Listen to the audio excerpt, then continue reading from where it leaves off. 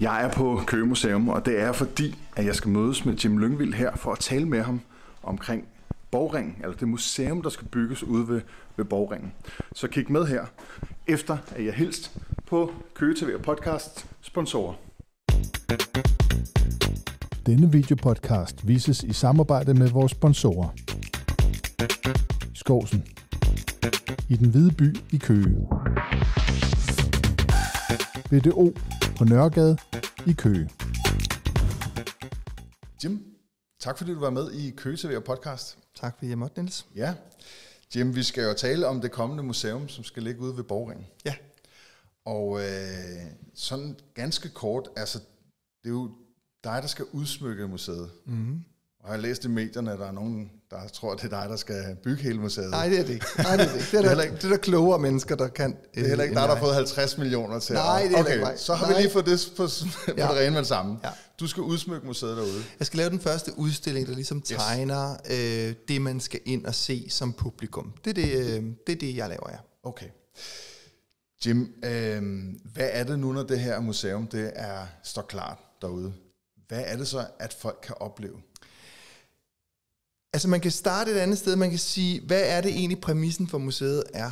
Mm. Og det øh, er meget, meget svært, fordi at, øh, eller det er det jo egentlig ikke. Det er jo, øh, borgringene er jo blevet UNESCO verdensarvs godkendte. Hvilket vil sige, at vi har fem borgringe i Danmark, og de skal så have for, lavet en anden fortælling. Man havde også skulle lave den her fortælling, selvom det ikke var blevet godkendt, kan jeg fortælle. Men det der er med de fem ringborge, jeg tror den mest berømte, det må være Fyrkat eller Tralleborg, der ved man, der er den her store, flotte ring rundt omkring, og så ved man, der er sådan nogle huse indeni, hvor der bor nogle mennesker. Ja. Man fandt så for nogle år siden, man har vidst, den har ligget der længe, men man udgravede så og, og officielt anerkendte den øh, borgring her i øh, Køge. Problemet med Borgring er, at det er verdens kedeligste Borgring og Vikingborg, fordi det var Borgringen eller Vikingborgen, der aldrig nogensinde blev ja. øh, bygget færdig. Yes. Så man har lavet en, en, en jordvold og nogle porte, men der er ikke nogen huse, der er okay. faktisk ikke noget. Så hvordan laver man en øh, fortælling om ringborg og om kongemagt, når man ikke har noget? Ja. Så ringer man til Jim Lyngvild og spørger, hvad gør vi? Ja.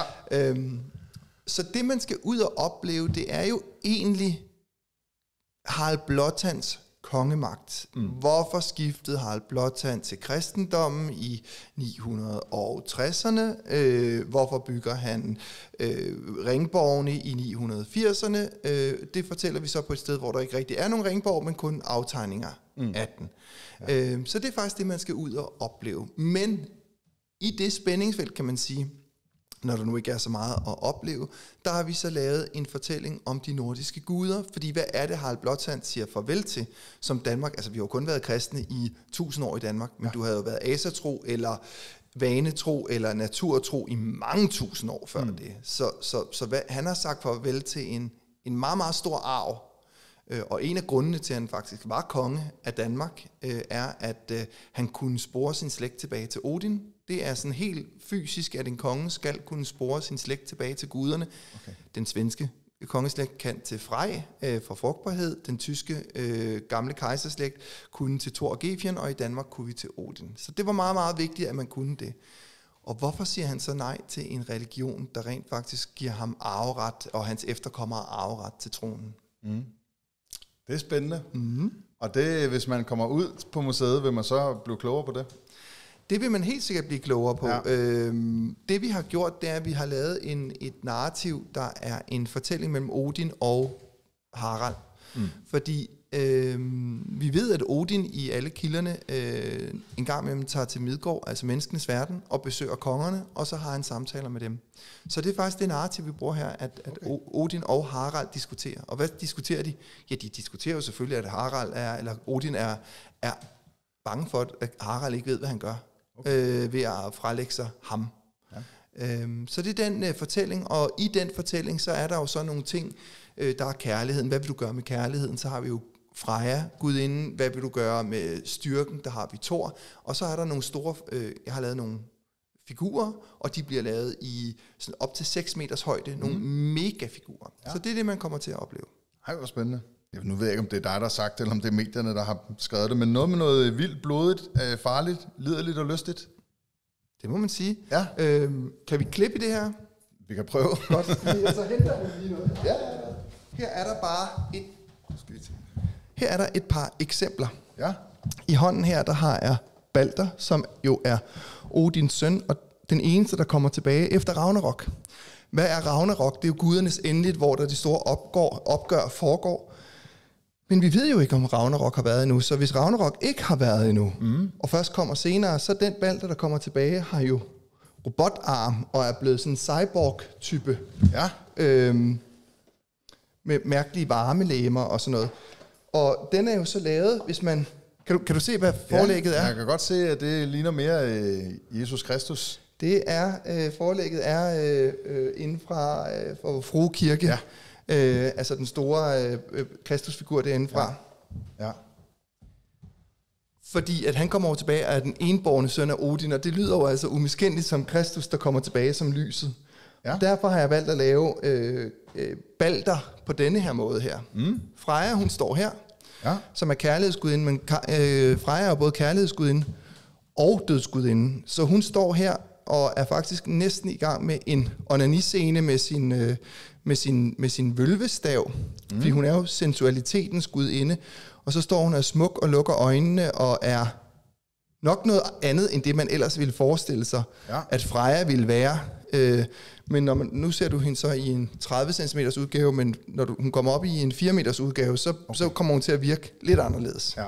Så følelsen, når man kommer ind på museet, er måske at komme ind på glyptoteket, men, men, men med nogle andre figurer, og nogle figurer, som man måske kender formen på, eller man kender ligesom forlægget til dem. Det her det er en svensk figur, der hedder Togen, som ligger til grund for denne her. Mm. Øh, men samtidig så er det noget helt nyt, som, er, som jeg har omformet på en helt anden måde med alle de her øh, vinger og alle de her ting her. Ja. Og så har vi dernede, der står der, øh, du kan løfte den op, hvis, Ja, ja, du kan se, om du kan løfte den. Den, den var ikke noget, men øh, det er, øh, det, den kommer faktisk ikke på museet, fordi den havde vi ikke plads til på museet. Okay. Og det er øh, Loke, øh, fi- øh, figuren, øh, der skal forestille Loke. Og der er jo en fortælling fra nordisk mytologi, at Loke han øh, redder guderne, da de skal have bygget muren omkring Asgård. Mm. Øh, en bygmester skal bygge muren for dem, og, øh, og hvis han kan gøre det inden for en bestemt tid, inden den første sommerdag, jamen så skal han have Freja og Sol og Måne i øh, løn, og hvis han ikke kan gøre det, så skal øh, guderne ikke betale noget for muren. Okay. Og den dag, han er lige ved at være færdig, han har en hest, der hedder Svadilfar, som er øh, den, en meget stærk jættehest, der hjælper med det her, og faktisk årsagen til, at han kan det her, det er den, der er magisk. Men den dag, da de kan se, at muren er lige ved at være færdig, og den sidste sten skal i, og det er ved at være den første sommerdag, så forvandler Loke sig til en hoppe, Ja. og øh, løber ind foran Svadilfar, og forsvinder med Svadilfar i øh, 8 måneder, og- eller 9 måneder, eller hvor lang tid en hest går drægtig, og kommer tilbage med Sleipner, har født Sleipner. Okay. Så Odin forvandler sig til en hoppe, og føder Sleipner. Det er jo en... øh, Eller Loke, Loke, Loke, ja. Loke Ja, forvandler yes. sig til... Ja. Ja. Ja. Så det er jo sådan lidt en, en mærkelig... Øh, ja, ja, en, en, der skifter, han skifter ikke bare køn, han skifter også dyr, han skifter også øh, form. Så jeg har lavet en kentaur her, der er ved at lade sig besvangre af mm. en, øh, en stor hængst. Og man kan sige, hvis børnene så den her, så vil de bare sige, se, se mor, der er to heste, der er stejler. Og voksne vil nok kunne se noget andet i den. Præcis. Okay. Super. Det er jo super interessant det her med, at du tager noget, vi jo kender i forvejen, Ja og ligesom bruger det i din fortælling. Og apropos det her med din fortælling, øhm, der er jo i virkeligheden, tænker jeg, nu må du ret på mig, hvis jeg tager fejl, men der er jo ikke nogen, der ved, hvordan vikinger så ud. Og så tænker jeg heller ikke, man ved, hvordan de nordiske guder så ud. Så der er jo ikke nogen, der har, eller det ved jeg ikke, men der er jo ikke nogen, der har været særlig kritiske over for tegneserien Kvak. Men, Ej, men har, men jeg tænker, der er mange, kan- der har været ret kritiske over for dine fortolkninger. Ja, det må man sige. Ja. Øh, og jeg har jo også et hold omkring mig her på Museum Sydøstdanmark, som sørger for, at øh, det går all bananas. Okay. Øhm, og selvom jeg har sagt, jeg har jo kunstnerisk frihed, og guderne er der jo ikke nogen, der ved, hvordan det ser ud, så er der, altså når jeg har lavet en figur, så er den blevet gennemgået med tættekam, og nogle ting har... Øh, altså, for eksempel Freja-figuren her, Ja. ja. der, øh, den har været igennem mange processer, og det er faktisk ikke endelig sådan her, den ender med at komme til at se ud, for hun kommer faktisk ikke til at have smykker på, fordi det der, det er en bronze eller armbånd, og der ah. mente øh, øh, vores øh, chefarkeolog øh, Jens Ulriksen, at hun kan selvfølgelig ikke have et bronze eller armbånd på. Ej. Hvorfor kan hun ikke det? Hun er en gudinde. Hun kan da Præcis. lige, hvad hun har lyst til. Måske var der hende, der opfandt. Måske var det hende, der opfandt det, fordi så gammel er hun da sikkert. Ja. Og så siger han, de her øh, øh, svær øh, øh, hjalter her, som sidder her, de er mere jernalder, end de er vikingetid, og det er jo ikke Harald Blåtands tid, og så videre. Så, så meget er blevet ændret, og meget vil blive ændret, og meget, der er blevet slugt mange kaneler. Jeg, ka- kameler. Kameler, ja. kameler. Ja. Jeg har dog fået lov til at få indført, at Thor stadigvæk har ring i brystvorten, selvom Okay. vi ikke ved, om vikingerne havde ring i brystvorten. Præcis. Men, øh, men, men fordi det er guder, så, øh, så har jeg fået lov til at få visse kompromiser. Okay. Men det er jo også rart for dig, tænker jeg, at du har de her eksperter, der lige kan sidde og være med til at justere lidt. Jo, det, jeg vil sige, at, at det havde det nu egentlig været, det havde været skønnere, hvis det havde været en, øh, altså jeg har jo lavet udstilling på Nationalmuseet, der havde mm. 10 eksperter rundt omkring mig. Ja. Øhm, her der er det guder, så der skal der jo også være en vis øh, fortælling. Jeg vil sige, Harald ja. Blåtand, som også kommer til at være i udstillingen i 6 meters højde, tror jeg han er, han, øh, den har været svær, for der må der selvfølgelig ikke laves nogen fejl. Der må ikke laves en vævefejl, der må ikke stoffet skulle være vævet rigtigt. Øh, øh, hans krone, hans alting skulle selvfølgelig være øh, historisk korrekt i forhold til 980. Ja. Øhm, men guderne må man gerne lave anachronismer med, fordi de er guder. Ja. Det er fortællinger. Spændende. Jim, du er jo selv asatroner, mm. og, øh, og du har jo også selv bygget sådan et, et altså en, hedder det en eller et gudehov, altså ja. Ja. et tempel. Et gudehov. Et gudehov. Ja. Ja. Et tempel for øh, sådan at, øh, det hedder jo ikke tilbed, eller det vel for at respektere, eller hvad anerkende, hvad hedder sådan noget? Det hedder Guderne? også til, tilbed. Jo, Tilbede jo, nogle gange tilbeder Ja. jeg, nogle Ja. gange respekterer jeg. Ja. Og hvordan, øh, hvordan fungerer det? Altså, hvor, hvor, hvor seriøs er du i, øh, i din tro? Altså, din, som Vil du nogensinde spørge en muslim om det samme ja, spørgsmål? det vil jeg faktisk. Nå, hvor, hvor, hvor, Hvis det handlede om det, så vil jeg spørge, hvor, hvor seriøs er du i, i det? Altså, hvor meget dyrker du det? Og så vil muslimen jo svare øh, Ja. ud fra, hvor meget han dyrker det. Altså, for mig er der ikke nogen øh, sådan skille eller sondring mellem at være lidt troende eller meget troende, for kun svare ud for mig selv. Ja. Ja. Og jeg tror jo på det. Ja. Ja. Jeg kan jo se, at det har en virkning i mit liv. Jeg tror ikke på, at, øh, at Thor render rundt i en bukkevogn op på himlen, og øh, at når det lyner, så er det ham. Når det lyner, så sender jeg mine tanker til ham, og så sidder mm. jeg og tænker på ham. Men, men jeg ved da godt, det ikke er en mand i en bukkevogn, der løber rundt derop og, Ja. ja. og skyder ned, for der er nogle andre årsager. Ja. Øhm, men når jeg kigger ind i min mand Mortens øjne, vi har været sammen i 22 år, og, og, og stadigvæk føler en enorm kærlighed, jamen så kunne man vælge at være ydmyg over for den følelse, og så sige tak til Gud inden Freja for, at man har den her. Ja. Så det er egentlig at takke de følelser og de øhm, tanker, og det bruger jeg hver dag på mm. alle mulige måder. Ja. Øh, Så jeg er et meget troende menneske, men jeg tror ikke, at guderne er sådan nogle personificerede kvarktyper eller valhalla-figurer. Det er nemt at have dem. Det er godt at have sådan nogle billeder, fordi så har du da et eller andet billede at sætte på det. Ja.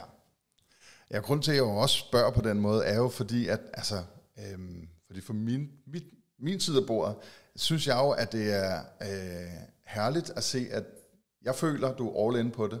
Du bygger et tempel. Mm-hmm.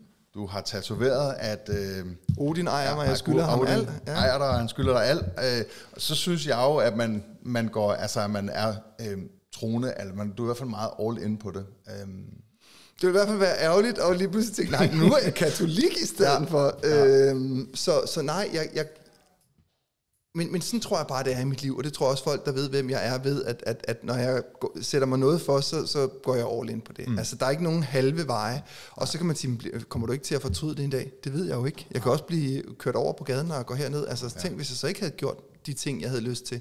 Så på den måde, så, øh, så lever jeg mit liv som, øh, altså, med, med, med, med 120 timer for de ting, jeg tror på. Mm. Det må også være herligt for dig at skulle bygge et museum og indrette det og lave en udstilling om guderne, som du jo har en interesse for, og, og gå op i deres historier og fortællinger. Og Det er det også. Det er en kæmpe, kæmpe ære og en kæmpe glæde, men det er jo selvfølgelig også angstprovokerende, Ja. øh, fordi det er noget, der betyder noget for mig. Mm.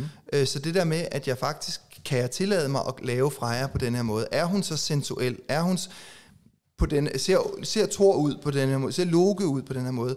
Det, øh, Det er jo svært, fordi det- det er for mig er noget, der betyder mere end bare et billede. Ja. Og derfor har jeg også bygget så meget mere end et billede ind i det, bare pæne billeder, men, men der er en masse fortællinger, en masse følelser i dem. Ja. Ja.